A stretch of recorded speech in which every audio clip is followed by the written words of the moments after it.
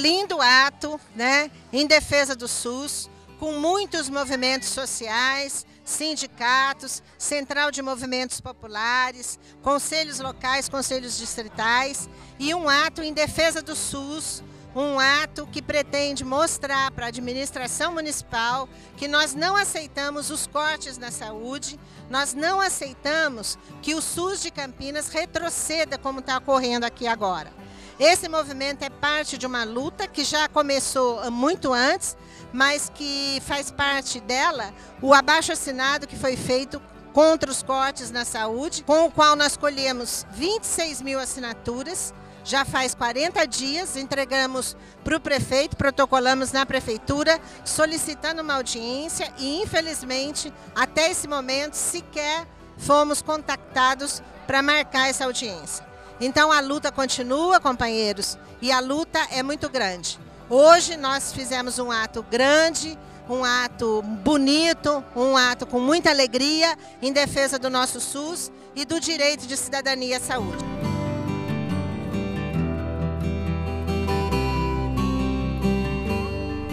Nós estamos exatamente fazendo que as, as autoridades sensibilizem com o que está acontecendo na saúde.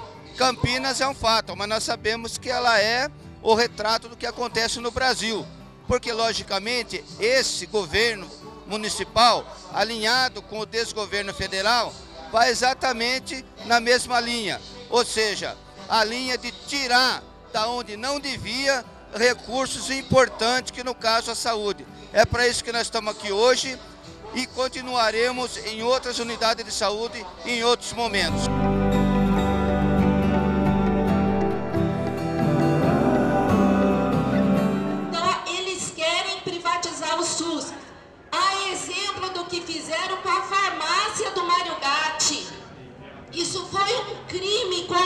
Saúde pública.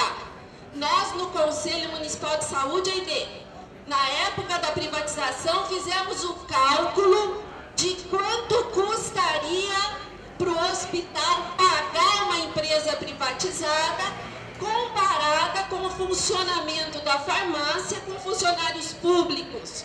E na época, hoje deve ser mais, o hospital passou a gastar mais de 100 mil reais por mês a mais do que se fosse pública uma farmácia que piorou a qualidade. E eu posso dizer isso com conhecimento de causa, porque dos 32 anos de prefeitura, 12 eu trabalhei aqui. E fiz essa farmácia, ajudei essa farmácia a funcionar com qualidade. O SUS é nosso, ninguém tira da gente. Direitos conquistados não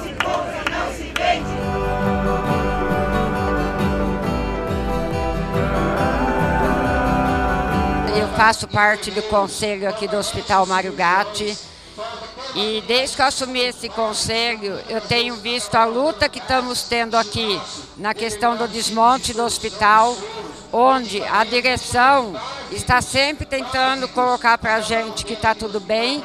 Cada dia que passa a gente vê o atendimento piorar, a, a, os setores serem terceirizados e de maneira assim, uma terceirização de maneira absurdamente uh, irregular.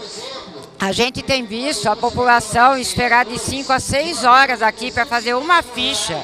Desde que terceirizou a recepção, as, as pessoas que precisam do hospital têm que aguardar 5, 6 horas para fazer uma ficha, depois mais 6 horas para ser atendido quanto conselheira, junto com os outros conselheiros, a gente está aqui na luta, fazendo a luta para que esse hospital não venha a perecer o desmonte.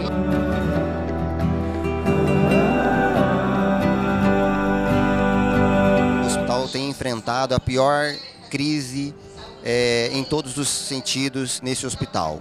A falta de RH é tremenda. Falta muitos funcionários em todas as áreas, principalmente na área assistencial, que é a, a área de enfermagem, onde nós da enfermagem temos o contato direto, 24 horas com os pacientes. E o que, que acontece? Muitos funcionários têm aposentados, outros têm sido exonerados, outros têm afastado por depressão ou outro problema laboral. E esses funcionários não têm sido reposto, embora tem concurso público é, para o prefeito chamar, mas ele não chama. Ao invés disso, ele tem investido em aumentar o salário dos assessores, assessores da Câmara, investido em manter o quadro de comissionados com altos salários e também tem os problemas pontuais que é falta de material, falta de medicamento.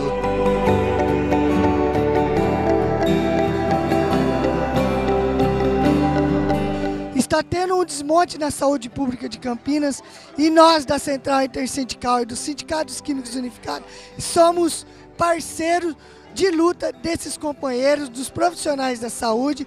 Então estamos aqui hoje dando um abraço no Hospital Marugatti. Esse hospital é um dos mais importantes da cidade de Campinas.